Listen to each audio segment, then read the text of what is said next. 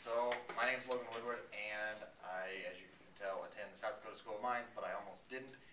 because when I was in high school, I did a lot of political activities. I was on uh, youth mentorship programs for local congressmen and for um, just political figures all across the state. And the second semester of my senior year, I got offered a paid internship to go to DC with our state's congressman and spend a full year with him in DC,